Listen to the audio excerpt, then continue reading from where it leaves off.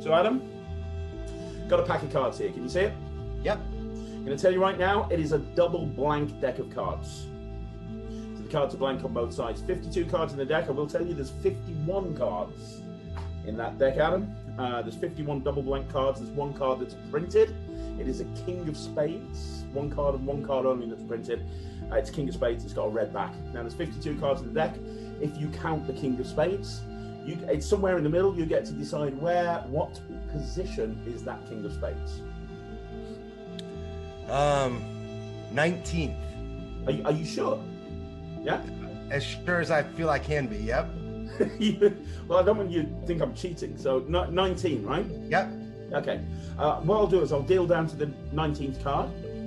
Um, and what I'll do is I'll turn the cards over one at a time so you can see that they're blank on both sides. So 19. So watch. One, two, three, four, five, six, seven, eight, nine, 10, 11, 12, 13, 14, 15, 16, 17, 18, 19. These, if you were here, you could examine these. These are genuinely blank, all examinable cards. There is one card and one card only that's printed in the 19th position, the King of Spades.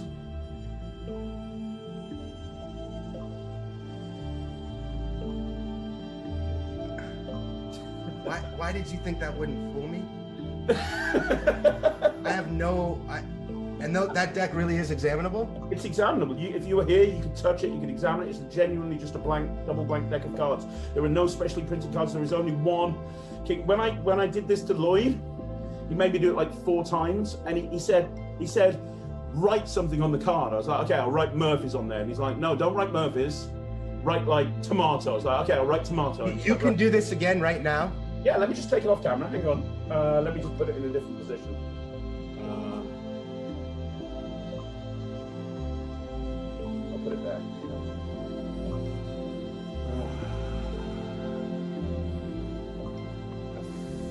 Probably where it's go. Yeah, okay. So I'll come back down. It's, it's in a different position. 23. Sure. Yeah. Want to change your mind? Uh uh 23. Yep. That, that's the final answer. 23. That's it. 23? Yeah? Yep. 23. Watch. One, two, three, four, five, six, seven, eight, nine, ten, eleven, twelve, thirteen, fourteen. What was it again? 23? 15, Uh-huh. 16, 17, 18, 19, 20, 21, 22, 23. I have I have not any idea. Not a clue, dude. There That's really really good. I think that's the the only any card at any number. I know it's not any card, but that's the only premise of that plot I think I would do. It's cool, isn't it? I'm I'm completely floored.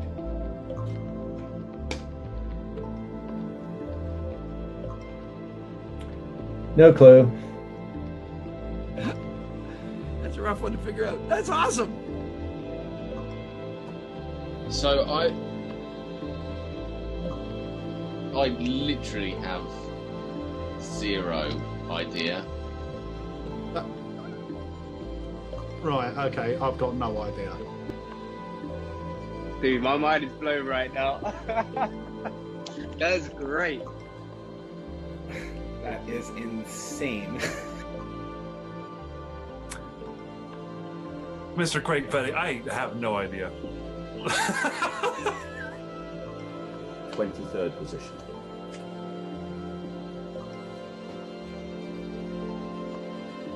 Yeah, I, I, I've absolutely no idea, Craig. That's really, really good.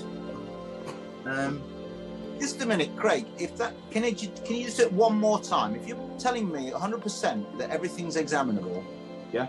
please let me watch it one more time.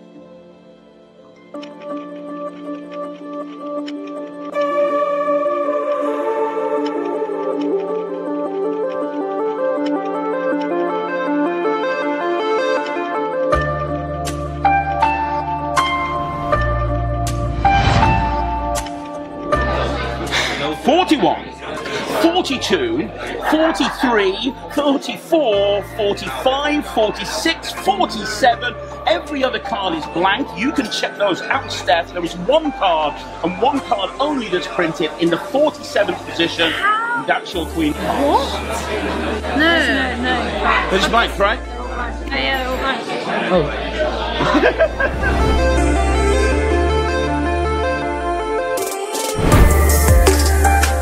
This is exactly what the audience sees. You take a blank deck of cards, it's blank on both sides, you put it down on the table.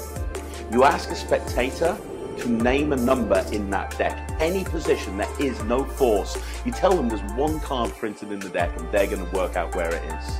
When they tell you the number, you pick the deck up and you slowly and deliberately start dealing the cards onto the table. They can burn your hands every second. As you deal each card, you're turning them over so they can see they're blank on both sides. And when you reach their freely chosen number, that's where the printed card is. Guys, you know as well as me, in magic trailers, a lot of the time, what they tell you is what the audience sees is far from reality. But I'm telling you right now with the quantum deck, what I have just described to you is what happens every single time.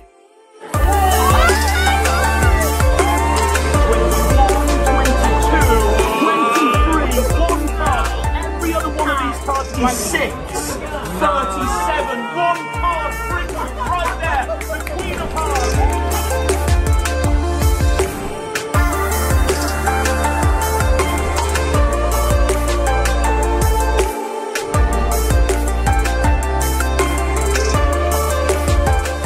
Let me be serious for a minute.